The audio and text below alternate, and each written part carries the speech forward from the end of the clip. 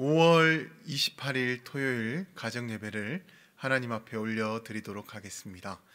다 같이 사도신경으로 신앙을 고백하도록 하겠습니다. 나는 전능하신 아버지 하나님 천지의 창조주를 믿습니다. 나는 그의 유일하신 아들 우리 주 예수 그리스도를 믿습니다.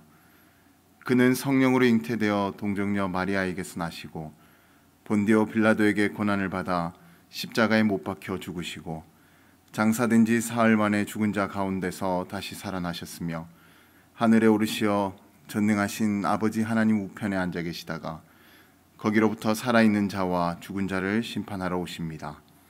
나는 성령을 믿으며 거룩한 공교회와 성도의 교제와 죄를 용서받는 것과 몸의 부활과 영생을 믿습니다. 아멘. 다 같이 복음성가 주가 일하시네를 함께 불러보도록 하겠습니다.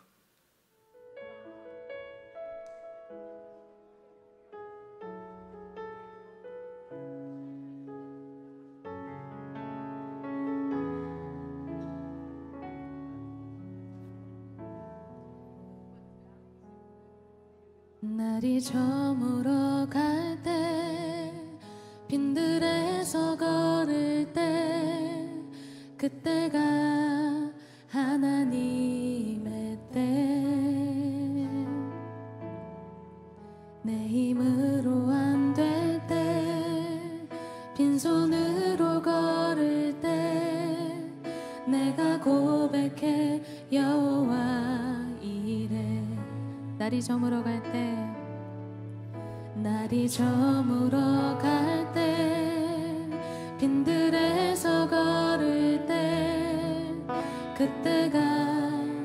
하나님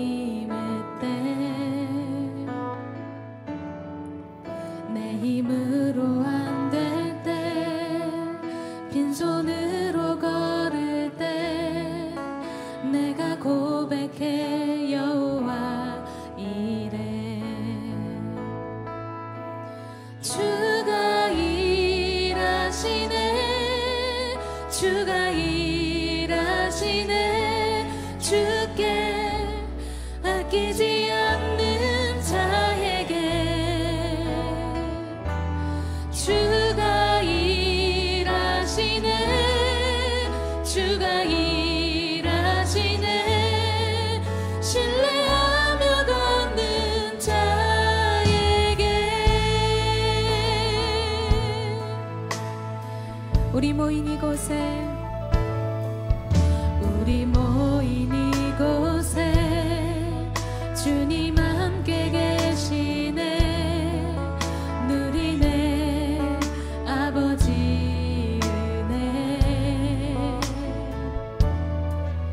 적은 떡과 물고기 내 모든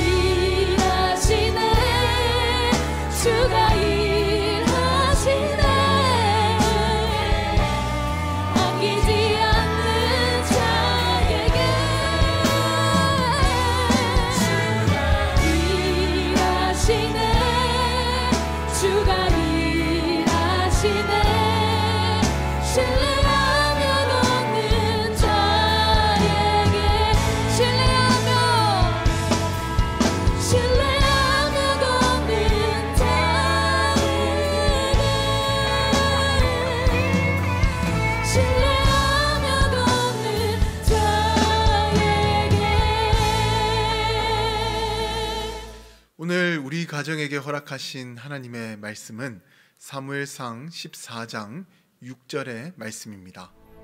요나단이 자기의 무기를 든 소년에게 이르되 우리가 이 할례 받지 않은 자들에게로 건너가자 여호와께서 우리를 위하여 일하실까 하노라 여호와의 구원은 사람이 많고 적음에 달리지 아니하였느니라 스포츠 경기를 보게 되면 대체로 홈 경기와 어웨이 경기로 어, 경기가 진행되는 것을 볼 수가 있습니다. 어, 그러니까 어떤 때에는 어, 우리 팀의 홈구장에서 경기를 하기도 하고 어떤 때에는 어, 상대 팀의 홈구장에서 어, 경기를 가지게 된다라는 것입니다. 그런데 대부분의 선수들과 팀은 홈에서 경기하는 것을 선호합니다. 왜냐하면 홈구장에서 경기를 할때 어, 나의 팀을 응원해주는 팬들이 훨씬 더 많이 찾아와서 경기 내내 힘찬 응원을 받으면서 경기를 할 수 있기 때문에 홈 경기를 선호하는 것입니다.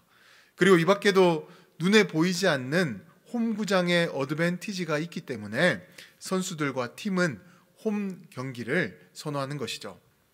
그러나 반대의 입장이 되는 경우인 어웨이 경기를 하게 된다면 선수들은 상대적으로 더 힘든 경기를 할 수밖에 없습니다. 왜냐하면 상대편에 이점이 있는 홈에서 경기를 해야 되기 때문에 어, 불리할 수밖에 없는 상황인 것이죠. 그렇기에 어떤 선수나 팀이나 할 것 없이 홈에서 경기할 거냐 아니면 어, 상대 팀 홈구장에서 경기할 거냐라고 그렇게 물어봤을 때 어, 모든 선수들은 홈에서 경기할 것이다 라고 그렇게 대답을 할 것입니다. 그런데 오늘 본문을 보게 되면 어, 이런 상황에서 반대로 생각하는 사람이 있었습니다. 그는 바로 사울의 아들 요나단이었습니다. 그는 이스라엘과 블레셋이 전쟁으로 대치하고 있을 때 자신의 무기 든 자와 함께 어, 적진 속으로 뛰어 들어가서는 하나님께 이런 맹세를 하게 되었습니다. 어떤 맹세를 하게 되었냐면 만약 하나님께서 저들을 나의 손에 넘기지 않으셨다면 내가 적진 속으로 뛰어 들어갔을 때 어, 적군들이 나에게 거기 있으라 하고는 어, 나에게로 내려올 것이고 반대로 하나님께서 저들을 나의 손에 넘기셨으면 적군들이 올라오라고 할 것이니 어, 자기는 그 상황대로 움직이겠다는 그런 맹세를 한 것입니다. 어떻게 보면 어리석은 그런 맹세처럼 보일 수가 있습니다.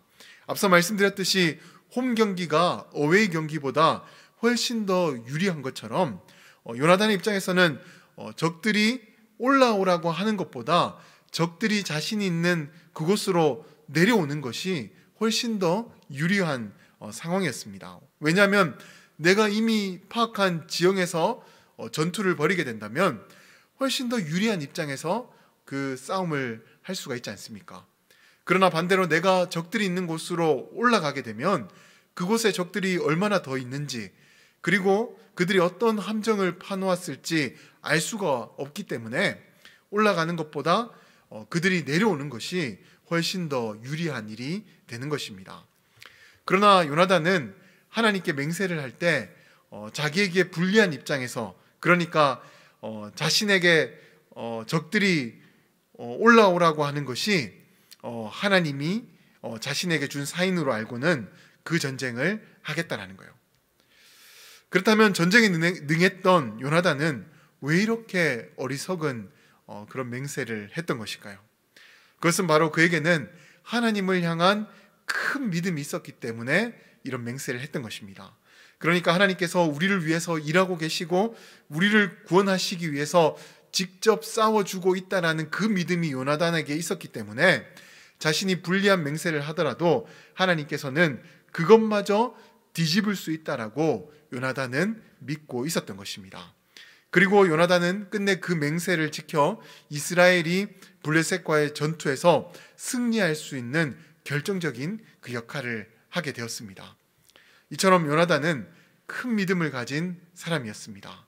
그런데 우리도 이와 같은 큰 믿음을 가질 수 있기를 소망합니다.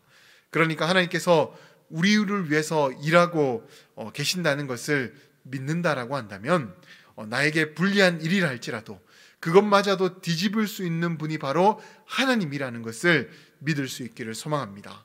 아무쪼록 우리 모두는 요나단처럼 어떠한 불리한 상황 속에서도 어, 물러서는 신앙이 아니라 앞으로 당당히 나아갈 수 있는 분들이 되셔서 어떤 일에도 승리를 쟁취할 수 있는 모든 분들이 되시기를 주님의 이름으로 간절히 축원드립니다. 나에게 유리한 쪽으로만 기도하고 사는 것이 아니라 나에게 불리한 쪽을 선택하더라도 하나님께서 나를 위해서 일하고 계신다는 것을 믿으며 하나님을 신뢰하며 나에게 주어진 삶을 최선을 다해서 살아가 보시기 바랍니다.